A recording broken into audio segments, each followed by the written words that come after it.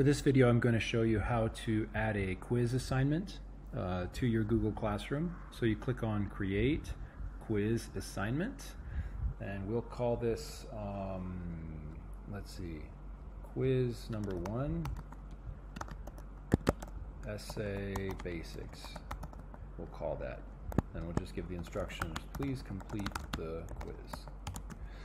Um, now it says blank quiz right here. Uh, you can click on that and create your own quiz. I've already created a quiz, so I'm going to delete that and I'll click on this Google Drive file here and I should be able to find the quiz I've just made.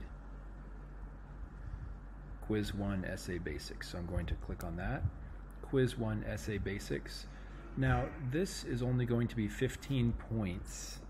Um, so I've created a 15 point quiz in Google Forms and I want the same point value to match. So it'd be kind of confusing if you had, you know, Google Forms is 20 points and Google Classroom is 15 points. I try to keep the point values the same. Uh, I'll just do no due date, but let's put the topic here. We'll put it under the essay topic. Now, it's important that you put this grade importing uh, button to the right where it's blue, you don't want it turned off. There it's turned off. Make sure it's turned on. Grade uh, importing is very important. All right, so we'll click Assign. And quiz one appears right here under week three. Uh, now you can organize these. Let's say that you want quiz one to be down here. You can certainly move it. You can even move it to another week if you want to.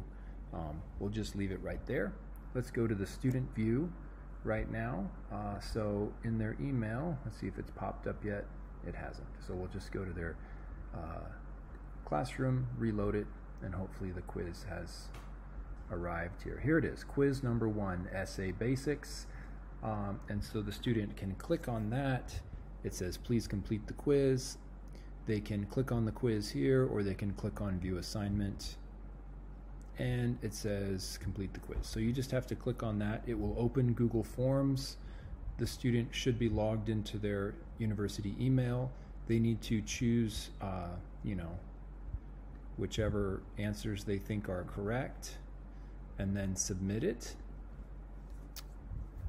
Um, the student can view their score if they want.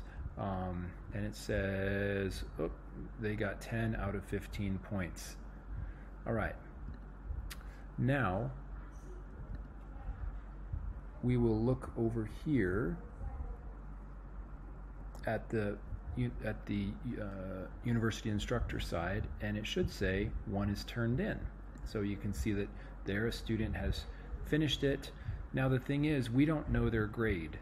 Um, so in order to figure out the student's grade you need to import grades and it will import the grade from uh, Google Forms. So if we click import grades, import, and then you see it gives you 10 out of 15, which is exactly what the student got on that quiz. Then you can click over here on the student's name. Oops.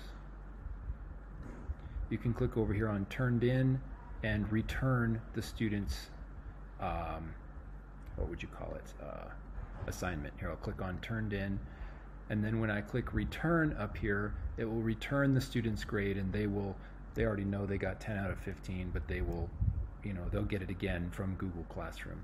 So if I click on return um, you can even add something like um, you know study more about um, spelling whatever you want to say. If you want to add a comment you can return it and now the student should be able to see your comment here. Here's the graded one right here. It gives you gives the student their grade which they already knew because it was a Google form. And they can read your comment that you also made. Um, so that's quickly how to add a quiz assignment to um, Google Classroom